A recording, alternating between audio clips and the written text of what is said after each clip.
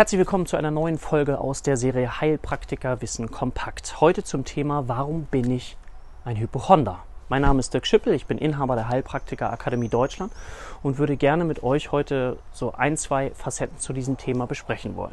Also erstmal, was ist eine hypochondrische Störung? Eine hypochondrische Störung ist eine Störung, die wenn ich Betroffener bin, mich dazu führt, dass ich sehr stark geängstigt sein kann, weil ich mir vorstelle, an einer tödlichen Krankheit zu leiden. Ich habe möglicherweise auch Symptome, beispielsweise Kopfschmerzen, deute die aber nicht direkt als Kopfschmerz, sondern ich habe das Gefühl, ich habe einen Gehirntumor oder ich leide an Krebs oder an ALS. Also es handelt sich immer um Erkrankungen, die dann auch zum Tod führen.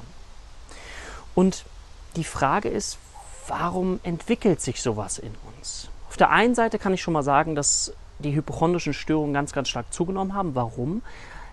Erstens, weil wir das Internet haben. Also das heißt, vielleicht hast du dich selber auch schon mal dabei beobachtet, wie du ins Internet gegangen bist, wie du ja wirklich gegoogelt hast zu den Symptomen, die du da möglicherweise hast. Und irgendwie ist es so, dass immer sehr, sehr schwerwiegende Erkrankungen dabei auch rauskommen können. Wir nennen das ja, oder die Ärzte nennen das auch gerne Dr. Google. Dr. Google ja, ist natürlich nur begrenzt äh, richtig. Deswegen ist es immer wichtig, dass wir auch zum Arzt gehen und wirklich einmal das klären. Aber das Entscheidende ist, wenn ich an einer hypochondrischen Störung leide und ich gehe zu einem Arzt und der sagt mir, es ist alles in Ordnung, dann hilft mir das kurzfristig. Aber es bauen sich wieder nach und nach weitere Ängste in mir auf, sodass ich wieder auf dem gleichen Angstpotenzial bin, was ich vorher schon mal gehabt habe. Also es beruhigt mich nicht.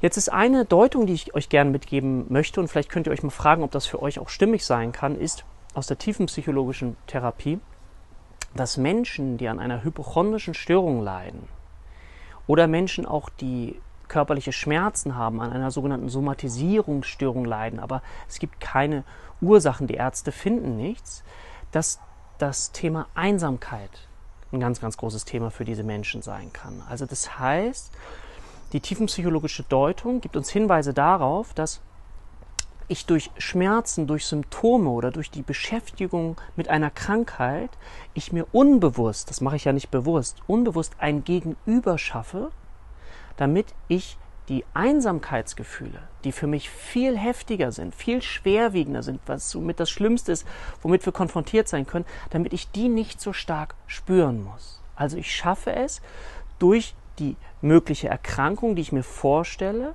eine Art Gegenüber zu schaffen, um mich damit zu beschäftigen, um selbst meine Einsamkeit nicht mehr so stark zu spüren. Schaut einfach mal, ob, das, ob ihr das nachvollziehen könnt, dass Einsamkeit eben auch viel damit zu tun haben kann.